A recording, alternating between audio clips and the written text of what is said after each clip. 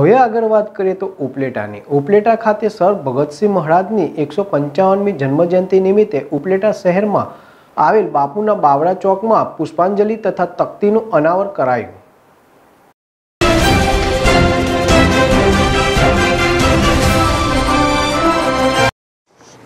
આજથી બરાબર એકસો પંચાવન વર્ષ પહેલા ધોરાજી મુકામે સંગ્રામસિંહજીના ઘરે સર ભગતસિંહજીનો જન્મ થયો હતો.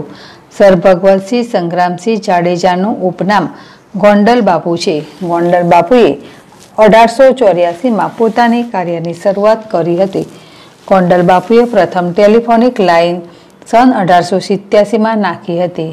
ગોંડલ સ્ટેશનના વખતમાં ગોંડલ બાપુનું અતુ પ્રિય શહેર ઉપલેટા હતું.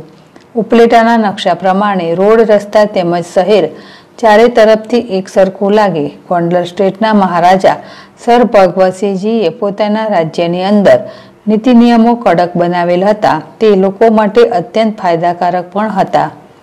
તેમજ લોકોને તમામ પ્રકારની સુખ સુવિધાઓ મળતી રહે. તેમજ લોકોને કંઈ પણ કોઈ પણ જાતની તકલીફ ન પડે. તે માટે તમામ પ્રકારની તકેદારી ગોંડલ સ્ટેટના મહારાજ ભગવતસિંહજી રાખતા હતા.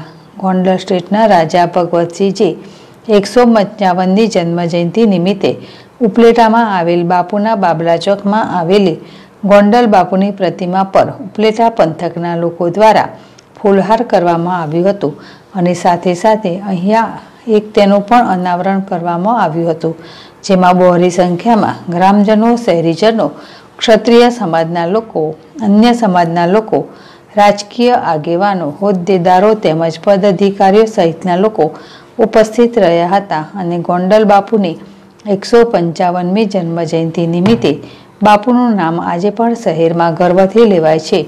તે સાથે લોકો આજે પણ પોતાને ગર્વથી ગોંડલ સ્ટેટના વતની તરીકે જણાવે છે અને ગર્વ અનુભવે છે.